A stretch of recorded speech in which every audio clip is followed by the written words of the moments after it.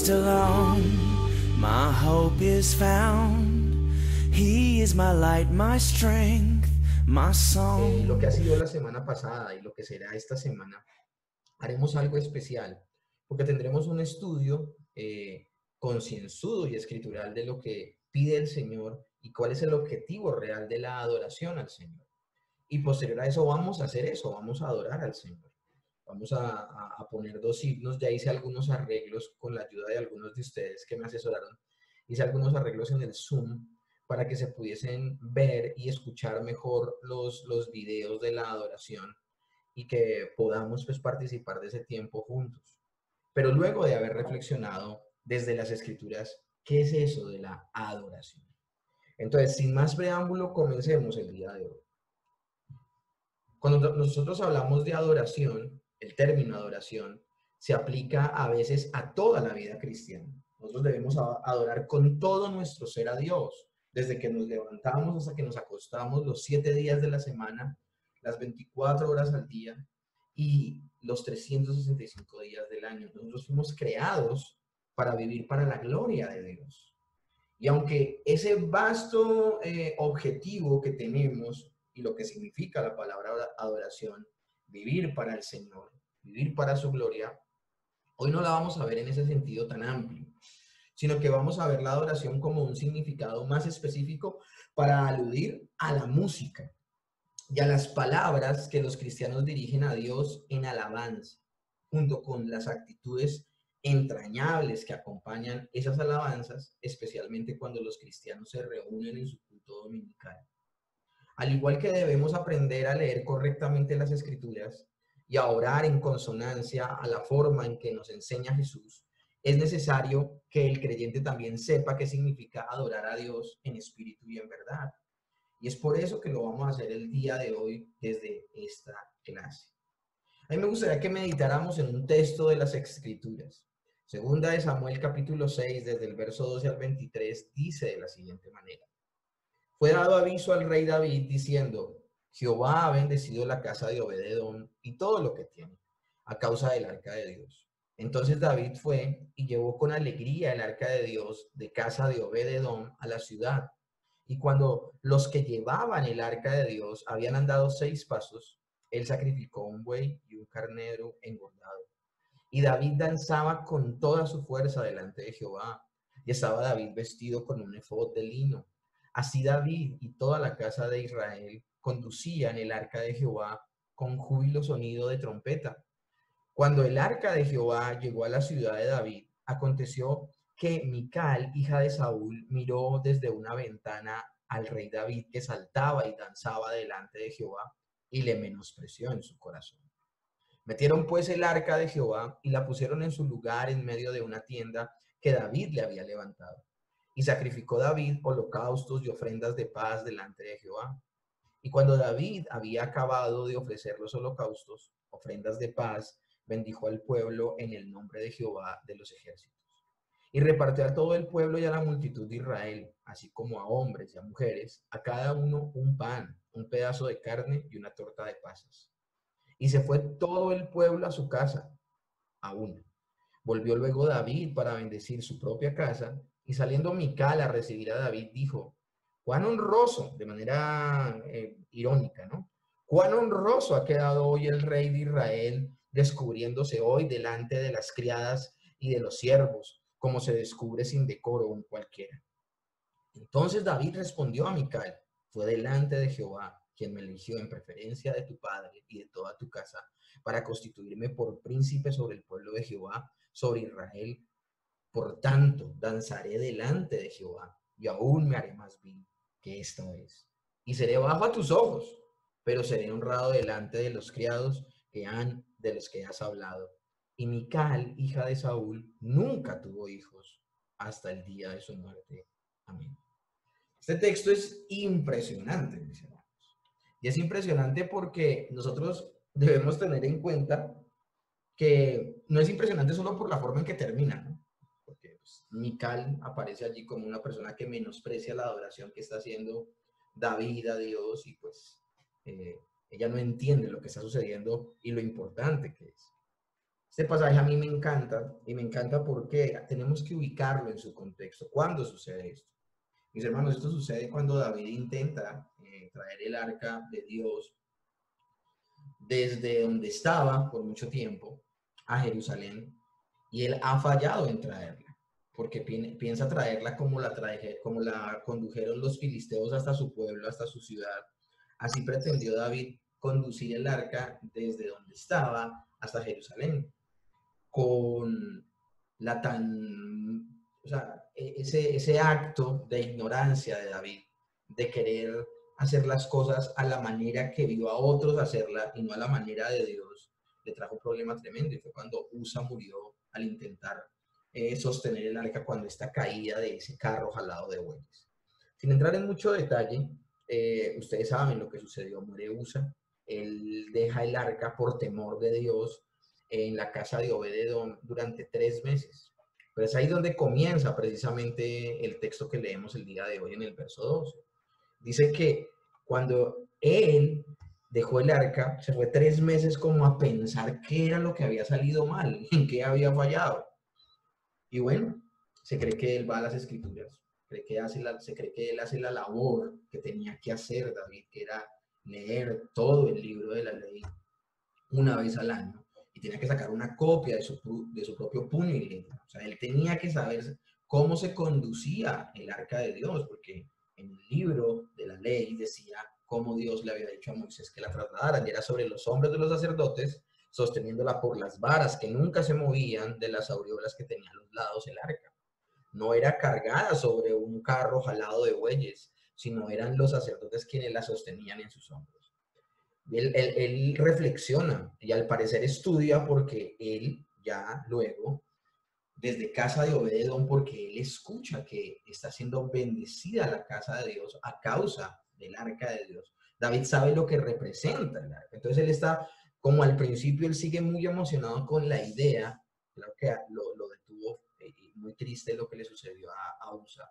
Pero él al escuchar que la casa de Obededón está siendo bendecida por la presencia del arca de Dios, Nuevamente toma fuerzas y pasados tres meses conduce el arca de Dios desde la casa de Obededón hasta Jerusalén, esta vez con éxito porque lo hizo a la manera de Dios. Lo primero que nosotros tenemos que entender una cosa es esto. David quería traer lo que representaba. Él sabía que Dios estaba en los cielos.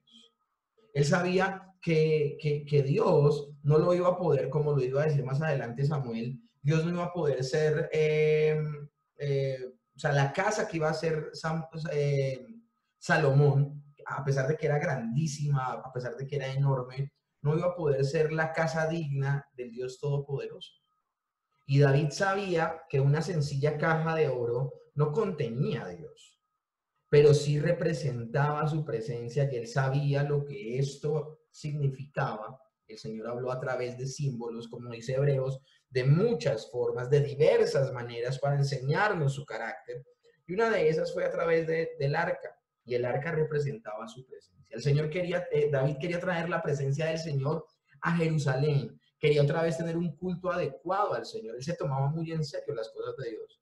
Al punto de que cuando pasa lo de Usa, él se detiene absolutamente, por más que desee, él no esté estarudo, y empieza a pensarse que hizo mal y hasta que no entiende qué fue lo que se hizo mal para hacerlo correctamente, no movió el arca de Dios desde la casa de Obededón. Resulta que los sacerdotes toman el arca, la ponen sobre sus hombros y caminan, dice el verso 13, y cuando llevaban el arca de Dios, andando seis pasos, él sacrificó un buey y un carnero. Y esto es impresionante, mis hermanos, porque David era rey y los que sacrificaban eran los sacerdotes. Esto es un papel mesiánico. Aquí tipifica a David al Mesías, que también, además de ser rey, es sacerdote. Ahora, lo interesante del asunto es que esta gente da seis pasos y luego, del, eh, antes de dar el séptimo, sacrifican a, a un buey, como diciendo, si nosotros podemos rendir adoración al Señor, es por el sacrificio de Cristo en la cruz del Calvario. Y nosotros debemos entender una cosa, mis nosotros debemos entender que si nosotros tenemos el privilegio de entrar a la presencia de Dios y como les he dicho en, cultos de oración pasados, podemos orar o podemos entender las escrituras, es por el privilegio de la muerte de Cristo en la cruz del Calvario. pero también si nosotros tenemos la oportunidad de adorar y de alegrarnos en la presencia de Dios, es precisamente también producto del sacrificio de Cristo en la cruz del Calvario. Nada de lo que hace la iglesia a nivel corporativo sucede aislados del sacrificio de Cristo en la cruz del Calvario. Dice el verso 15, eh, el verso 14, y David danzaba con toda su fuerza delante de Jehová y estaba vestido de un efod de lino. Así David y toda la casa de Israel conducían el arca de Jehová con júbilos sonidos de trompeta. Empiezan a cantar, empiezan a tocar los instrumentos, empiezan a danzar. Ahora, es la única parte donde en las escrituras se ve puntualmente que se habla de danza, una manera especial en la que el Señor, el Señor permitió que David le adorara. ¿no? Hay gente que se toma este texto para levantar ministerios de danza en la iglesia y bueno, ahí sí se tuerce un poco la escritura. Aquí lo que se está hablando es la alegría que tiene David de poder contar con, con, ese objeto sagrado que el Señor le había mandado a Moisés tener y que auguraba su presencia, algo maravilloso. Y dice, el rey David saltaba y, y danzaba delante de Jehová y le menospreció en su corazón su esposa. Y aquí yo quiero que entendamos algo. Cuando yo les mandé la presentación, les mandé una presentación muy completa de todos los textos, de todos los puntos de lo que habla la adoración. Y cosa que, que yo no les podré dictar el día de hoy completa, pero se las envío precisamente para que ustedes puedan hacer ese estudio maravilloso. Pero me gustaría partir de este texto porque, uno, para articular toda nuestra enseñanza, desde un texto que podamos de alguna manera eh, explicar de manera expositiva desde su, desde su principio hasta su fin, y no que yo coja un tema y, y acomode los textos a la, a la, manera que yo quiera, no, poder coger un texto completo como este y explicárselos. Me llama la atención que mientras David se toma tan en serio la adoración a Dios, Mientras David se toma tan en serio lo que está haciendo delante de Dios, porque mis hermanos, el tiempo de adorar al Señor en la iglesia, cuando ponemos unos himnos y cantamos, cuando nos alegramos, cuando nos regocijamos en la presencia de Dios, no es el tiempo de relleno para que la gente llegue. No es el tiempo para que la gente esté preparada y listas para la predicación. Porque es que a veces se tiene esa idea de la adoración. A veces se tiene la idea de que cantar no es tan importante como escuchar la palabra. Y, y, así como hay personas que llegan tarde al culto y solo llegan a la palabra, también hay gente que se va temprano porque no les interesa la cena del Señor. Y eso es no ver todo el culto de adoración como un todo y que cada uno de los espacios y de las acciones o de las demostraciones de adoración de su pueblo a Dios son importantes. Tan importante como la exposición de la palabra es la adoración. Y tan importante como estas dos es la cena del Señor. Pero vemos que por un lado David se toma de manera completamente trascendental la adoración a Dios, pero por otro lado vemos a su esposa, a la hija de Saúl, menospreciando en su corazón al rey David. Dice más adelante, metieron pues el arca y la pusieron en un lugar en medio de una tienda que David había levantado. Miren lo serio que se tomó David las cosas, había preparado un lugar para el arca. Hasta ese momento no había templo, el templo lo iba a construir Salomón. Entonces levantó una tienda, al parecer, eh, no sé si está haciendo referencia al tabernáculo o a qué, pero en esa tienda estuvo el arca. Y sacrificó David holocaustos y ofrendas de paz delante de Jehová. Y cuando David había acabado de ofrecer los holocaustos y ofrendas de paz, bendijo al pueblo en el nombre de Jehová de los ejércitos. Nuevamente una labor sacerdotal. Y repartió a todo el pueblo y a toda la multitud de Israel, así como de hombres y mujeres, a cada uno un pan, un pedazo de carne y una torta de pasas. Miren en medio de una, de una reunión completamente eclesiástica, una reunión donde todo el pueblo ha sido convocado para adorar a Dios, empiezan a comer juntos. Yo quiero que nosotros entendamos algo. No quiero hacer un paralelo directo de esto con la cena del Señor. Más bien quiero hacer esto un paralelo directo con la costumbre que tenían las personas de la iglesia del primer siglo. En la, cuando se hacía eh, el día del Señor, el culto para el Señor, dentro de ese culto habían algo que se llamaban los ágapes. Y dentro del ágape era una cena que se hacía donde se compartían alimentos y se aprovechaba en medio de, la, de compartir esos alimentos, se aprovechaba para compartir la cena del Señor. La cena del Señor se compartía en medio de un ágape, de una cena verdadera. Una cosa impresionante. Y miren que no es raro comer en la presencia delante de Dios como una señal, como una señal de coinonía, de confraternidad y de unidad. En este tiempo de pandemia, pues como lo, como lo dije alguna vez en, en el culto dominical, nos hemos abstenido de tomar la cena porque creemos que es necesario estar juntos para poderla para poder participar de ella. Debemos ser una iglesia corporativa, un cuerpo real en cuanto a que estamos unidos físicamente para poder compartir la iglesia local. En este momento no lo, no lo podemos hacer y lo tomamos como una disciplina de parte del Señor. De alguna manera Dios nos está enseñando algo con esto que está sucediendo y tenemos que reflexionar como iglesia y pedirle a Dios que este tiempo pase cuando pues Él, él, lo, él, él lo crea conveniente y volvamos nuevamente a tomar la cena. El punto aquí es que esta bienvenida del arca de Dios a Jerusalén fue una cosa tremenda, algo maravilloso de parte de Dios.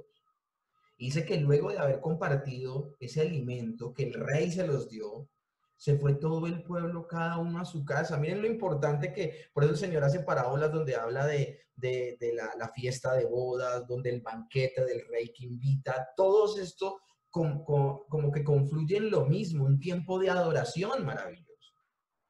Pero miren la historia cómo continúa. Luego volvió David para bendecir su casa y saliendo Mical a recibir a David dijo, cuán honrado ha quedado hoy el rey de Israel, descubriéndose delante de las criadas de sus siervos, como se descubre sin decoro un cualquiera. ¿Qué había hecho el rey David? El rey David se había quitado sus vestiduras reales y se había quedado con un efod como el de cualquier otra persona. Dice que un efod liso, no eran sus vestiduras eh, em, reales, regias, sino un vestido como el de cualquier otra persona del común.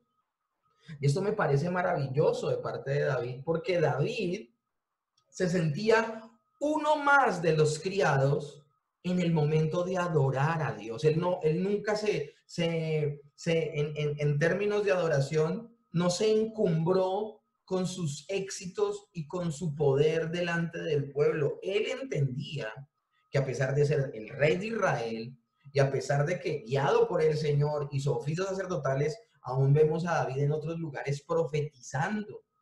¿Qué fue lo que hizo él con los salmos? ¿Qué fue? Él es un autor bíblico. O sea, miren lo, lo, lo, lo maravilloso, la multiforme gracia de Dios en la vida de David. Una cosa impresionante y nada de eso lo envaneció para que él entendiera una cosa. Él no era el rey. Él no era el sacerdote. Él no era el profeta por excelencia. Sencillamente él se veía como uno de los criados, como uno de los siervos del Señor y por eso adoró juntamente con ellos. Mis hermanos, es tan importante la adoración corporativa. Es tan importante que nosotros como iglesia tengamos momentos y espacios donde cantemos juntos, donde compartamos entre todos las verdades de la palabra. Y de aquí se desprende algo importantísimo. ¿Qué es lo que cantamos? ¿Qué es lo, qué, ¿Cuáles son esos himnos que elevamos al Señor? Por 15 años yo canté muchas eh, canciones terribles que pretendían ser cristianas. Canciones que me cantaban a mis emociones, canciones que solamente apelaban a mis deseos, a mis sueños, a mis proyecciones, un poco de canciones que no se diferenciaban en nada al resto de canciones que tocaban en lo secular, porque el centro era el hombre, a pesar de que no dijeran ninguna grosería y a pesar de que no cantaran a, antivalores, eran canciones que estaban centradas en el hombre y en ¿Qué cantaría ese día David? ¿Qué cantaría ese día el pueblo? Les aseguro que lo que está señalado en los salmos, ustedes ven en los salmos, los salmos exaltan, el término salmo significa canción. Los salmos lo que hacen es exaltar lo bueno que es Dios, su carácter. Aún los salmos nos recuerdan muchas veces momentos difíciles del pueblo para que no volviésemos a caer en esos errores. Pero también los salmos muestran la misericordia y la majestad de Dios, es lo que debe cantar el pueblo de Dios. El pueblo de Dios debe cantar letras teocéntricas, letras que sean bíblicas, que sean teológicamente grandes y maravillosas, ciertas. Eso es lo que debe cantar el pueblo. Pero lo tremendo del asunto es que hay muchas personas, como les digo, que no solo menosprecian el momento de la adoración al interior de la iglesia, sino que también menosprecian la adoración a la hora de cantarle al Señor y cantan cualquier cosa. Por eso se levantan músicos como los de Redimidos, que ellos decían que Dios los llamó a ser salmistas, no a ser teólogos. Y eso es una completa contradicción. Es una completa contradicción. Porque Dios, todo lo que el pueblo nunca quiso que olvidara, o sea, cuando Dios mandó al pueblo a no olvidar algo, siempre lo mandó a que cantara eso que nunca olvidara. Y el Señor es el que más se goza de que su pueblo cante su palabra. Entonces es obligatorio que una persona que se meta en la tarea de componer himnos al Señor sepa de las escrituras. Eso es importantísimo, que una persona que compone himnos al Señor, de lo primero que debe estar lleno es de la palabra de Dios, para que sus líricas y sus letras emerjan de la escritura y sea algo maravilloso y se exalte a Dios de los cielos. Si ustedes se dan cuenta, todo lo que está haciendo David en este pasaje se centra y apunta, mis hermanos, es a Dios. El centro no es el pueblo, el centro no es el rey, el centro ni siquiera es Mical, el centro es Dios. Y lo tremendo del asunto es que David llega a su casa para bendecirla y su esposa le sale con estas. No, quedó muy lindo usted con lo que hizo. Ella no entendía nada. Ella es digna hija de su, de su padre Saúl, que solo se fijaba en la reputación y que, el sacerdote, el profeta, lo bendijera y lo honrara delante del pueblo, así estuviese destituido de parte de Dios. Eso es lo que le importa a. ¿Qué es lo que va a pensar la gente? O sea, ¿cómo te igualas a los siervos y a las siervas? Mis hermanos, nadie al interior de la iglesia es más grande que otra persona. Nadie al interior de la iglesia, ni el pastor, ni los ancianos, ni los maestros, nadie al interior de la iglesia, ni los diáconos, nadie al interior de la iglesia es más grande que los demás hermanos de la iglesia. Les tengo noticias, el pastor es un hermano más de la iglesia. Sí, un hermano que tiene una labor de autoridad y que el Señor le pedirá cuentas a él y a los otros pastores porque una iglesia bíblica debe tener pluralidad de pastores, de ancianos, para que la, el poder, la autoridad y las decisiones no recaigan solo en, un, en un varón, sino en varios. Pero les tengo noticias. Ellos, aunque tienen una labor muy importante, delegada por Dios de autoridad, de presidir la iglesia, no son mayores que los demás. Sí, son dignos de honra y de doble honra, como dice la escritura, pero no son mayores que los demás. Y David tenía eso completamente claro, Mical no. Y cuando le hace esta confrontación, está demostrando que ella, como dice el pasaje, menospreció en su corazón lo que hizo David. Y esto es terrible, mis hermanos, cuando hay personas al interior de la iglesia que menosprecian los tiempos de oración. Porque es algo gravísimo delante de Dios, tan grave como enseñar una predicación incorrecta, una herejía, tan grave como que una persona tome la cena del Señor indignamente, tan grave como cualquier otra cosa, es que personas al interior de la iglesia menosprecien los tiempos de adoración. Hay dos términos que son interesantes en la Biblia, adoración y alabanza. Algunos dicen que adoración es cuando las personas cantan por lo que Dios es. Y alabanza es cuando la gente canta, el pueblo de Dios canta por lo que Dios ha hecho. Oh Señor, gracias, te alabo y te bendigo porque me sanaste de alguna dolencia, porque perdonaste mis pecados, porque sacaste del hoyo mi vida y me llenas de bienes y misericordias, como decía precisamente David en un salmo. Pero cuando una persona se detiene a adorar al Señor por lo que Él es, Señor, te adoro porque eres santo, porque eres digno, porque eres bueno, porque eres misericordioso, porque eres Dios, se cree que ha llegado uno al nivel más alto de alabanza, de, adoración, porque sencillamente uno queda impactado, anonadado, estupefacto con el ser de Dios. Claro que el Señor se toma en serio la adoración. Claro que el Señor se toma en serio las alabanzas de su pueblo. Dice la palabra que Dios habita en las alabanzas de su pueblo. Y no sé si ustedes sabían esto, mis hermanos. Pero cuando, el Señor, cuando, la, cuando la Biblia habla de que los ángeles alaban a Dios, no se está refiriendo a que ellos cantan. Cuando habla de que ellos alaban, cuando significa que ellos eh, reconocen delante de Dios la grandeza de Dios, su alabanza no es tan profunda como los cánticos del pueblo de Dios. Los ángeles no pueden hacer algo que el hombre puede hacer. Y es que el hombre alabe a Dios por lo que Dios ha hecho y fue salvarle. Los ángeles no fueron redimidos. Los ángeles no, no cuentan con un plan de salvación. Los que pecaron son demonios ahora y están condenados y los que se salvaron por un acto de gracia de Dios fueron guardados de ese gran pecado que el resto de ángeles sí cometió.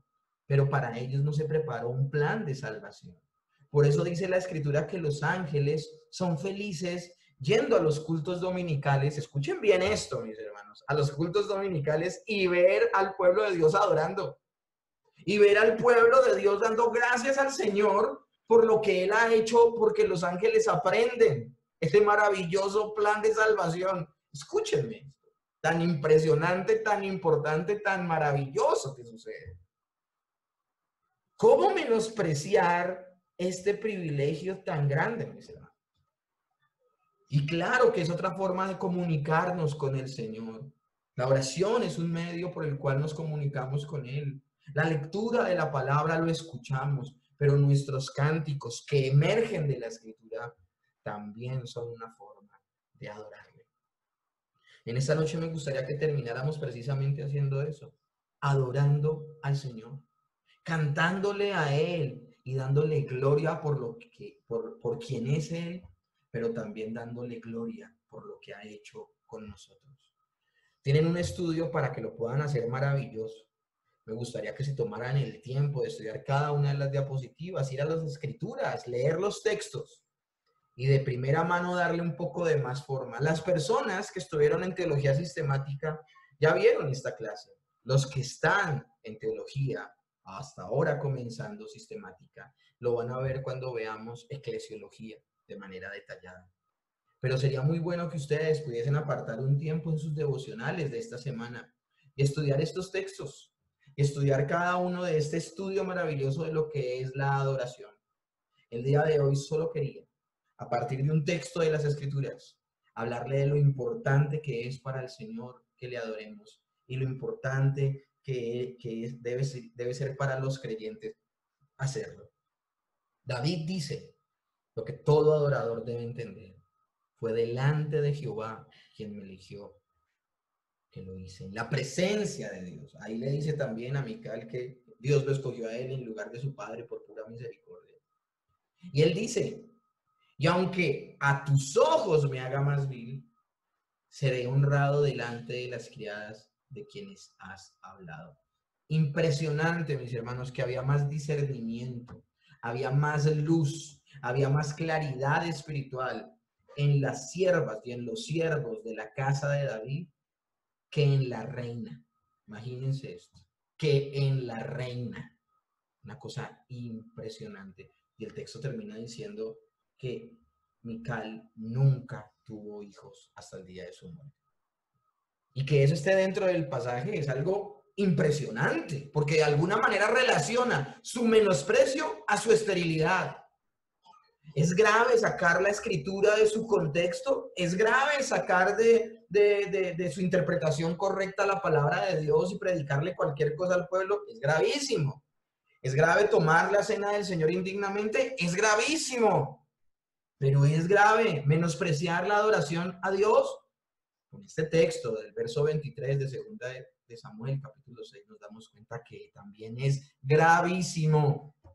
No hay puntos medios, ni hay nada al interior del culto de Dios, a Dios, que sea menospreciable o que sea, eh, que pueda pasar a un segundo plano de importancia. No, mis hermanos, todo lo que hacemos en el culto público de adoración es importante.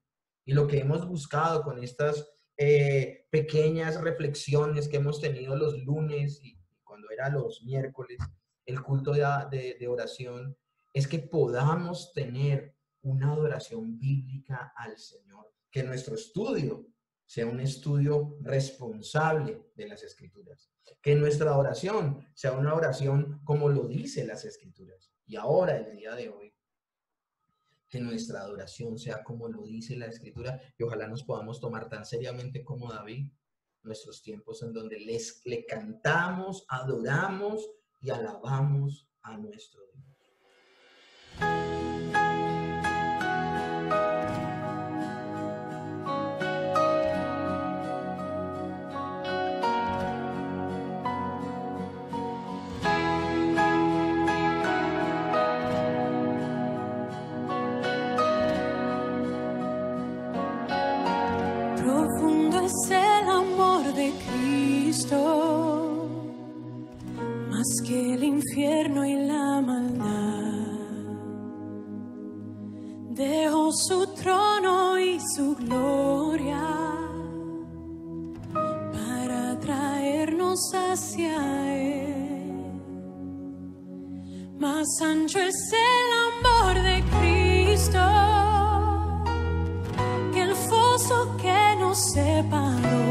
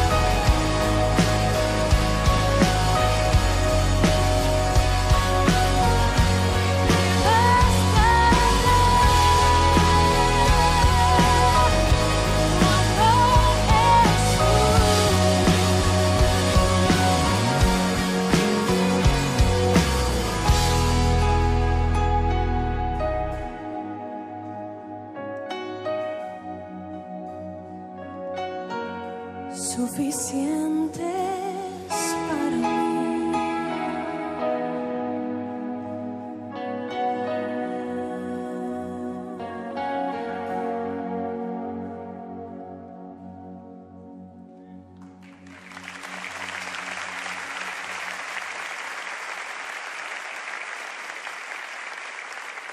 Señor, en esta noche te damos muchas gracias. Tú eres muy bueno, Señor. Tu amor es para siempre. Tu misericordia es para siempre. Te adoramos, Señor. Te bendecimos. Eres Dios todopoderoso, Señor. Gracias por estos espacios, Señor, donde nos permites poder meditar en tu palabra, pero también, Señor, donde nos permites, Señor, hacer tu voluntad. Te damos muchas gracias. Te doy gracias por cada persona conectada, Señor. Te doy gracias por cada persona que desde sus hogares, Señor, se conecta cada lunes, porque tienen el deseo, tienen el ánimo, tienen eh, esa hambre que viene de ti, Señor, de, desde las escrituras, rendirte adoración a ti, Señor. Te pedimos perdón por cada vez, Señor, que hicimos cosas incorrectas, Dios. Que en nuestra ignorancia, Señor, como David, cometimos, Dios, ignorando tu palabra por un acto de negligencia, porque siempre la tuvimos allí. Siempre estuvo allí tu palabra, Señor, y sencillamente creímos a las formas y a las maneras en que otros lo hacían y nunca fuimos de primera mano a la palabra, Señor. Te pedimos, por favor, que sea ella la que sea iluminada por tu Espíritu Santo y nos conduzca, Señor, a hacer tu voluntad maravillosa. Te pedimos, por favor, que a través de lo que hemos estado aprendiendo y lo que seguiremos aprendiendo, Señor, seas tú guiándonos a rendirte un culto verdadero a. Te doy las gracias por cada persona, Señor, por cada familia aquí representada. Te pido que los bendigas y los guardes si podemos estar presentes, Señor, y haciendo esta oración confiadamente delante del trono de la gracia y hallar oportuno socorro, es por los méritos de Cristo. Nuestro propio caminar, así como en la, en la historia, Señor, de segunda de Samuel 6, nuestro propio camino es redimido, Señor. Nuestro camino imperfecto, Señor. Esos pasos imperfectos, Señor, son perfeccionados, Señor, por la obra de Cristo en la cruz del Calvario, por la presencia del Espíritu Santo en nuestras vidas que nos llevan, Señor, a mortificar el pecado y a cada día ser más como tú, Señor. Te damos las gracias, te damos la gloria, Señor. Oramos por este tiempo tan difícil que está pasando en la humanidad, Señor. Que seas tú tomando el control y obrando, Señor. Si como iglesia hemos cometido errores, Señor, te pido por favor que seas tú en este tiempo, Señor, de aislamiento, donde tú mismo has permitido que tu cuerpo, Señor, tu iglesia no se puedan congregar físicamente, Señor. Se difunda la palabra, Señor. Es verdad, Dios. Así como recayó la ira tuya sobre USA, Señor. Tu ira, Señor, está en contra de todos aquellos que levantan un culto extraño a Dios.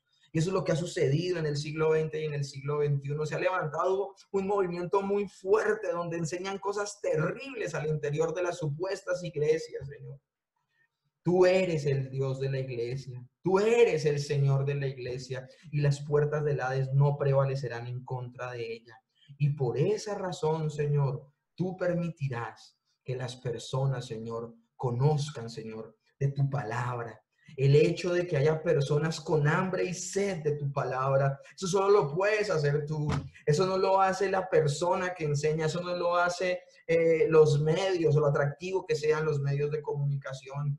Lo haces solo tú, eres solo tú el que despierta el deseo, el hambre, la sed de tu palabra en el pueblo de Dios.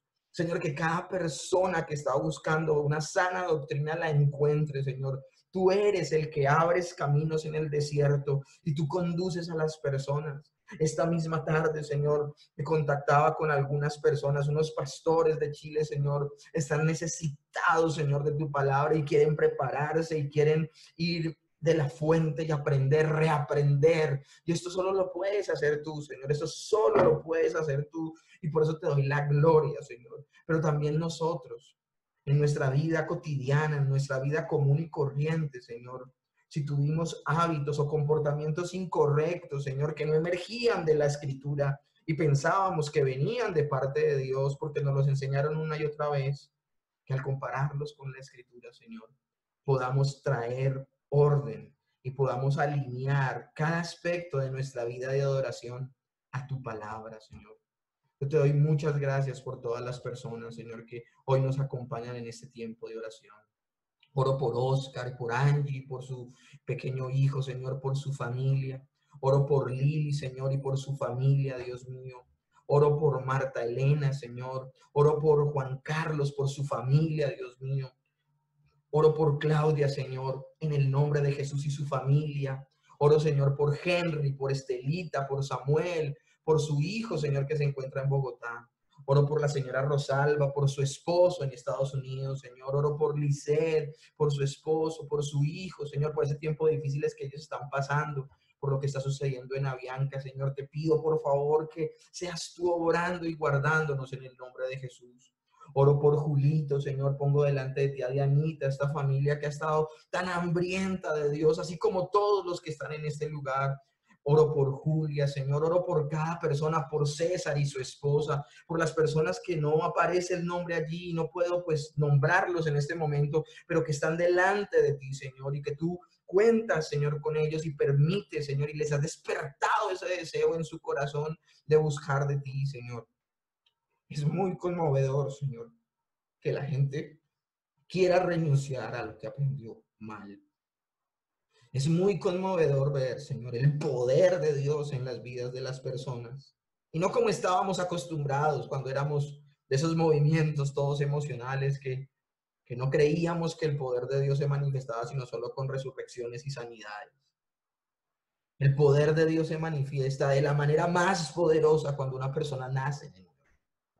Cuando una persona reconoce su error y avergonzada cae a los pies del Señor pidiendo salvación.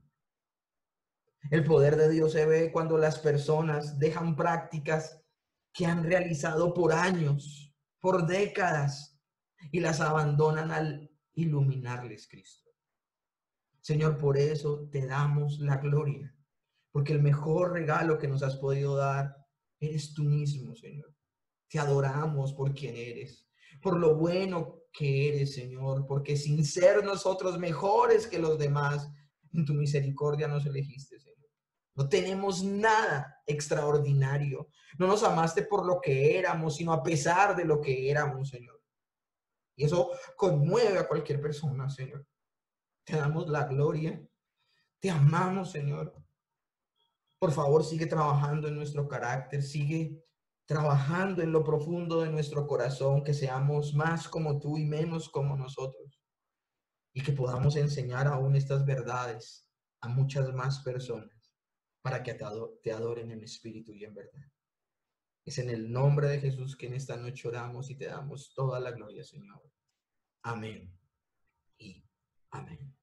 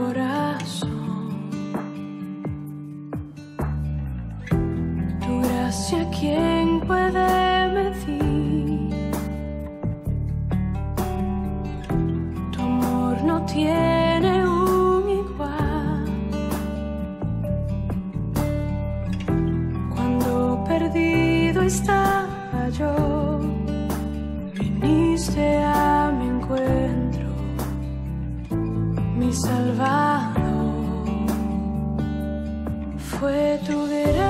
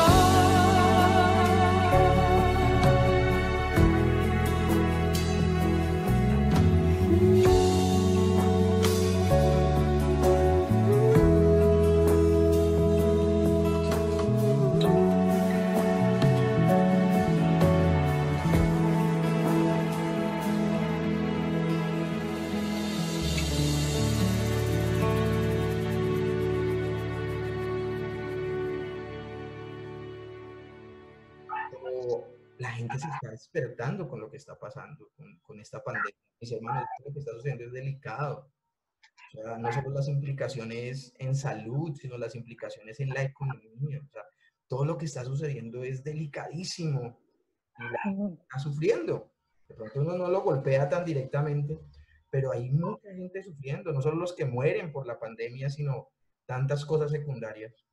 Y la gente se está, se está sensibilizando mucho a las cosas de Dios. O sea, lo que hace el sufrimiento en las personas a veces uno no, no lo calcula. Y el sufrimiento lo que hace a la gente es acercarle a Dios. Y entonces oremos mucho para que el Señor siga permeando a más personas con la sana fe. Amén. Amén. Bueno, mis hermanos, Dios me los bendiga. Dios me los bendiga.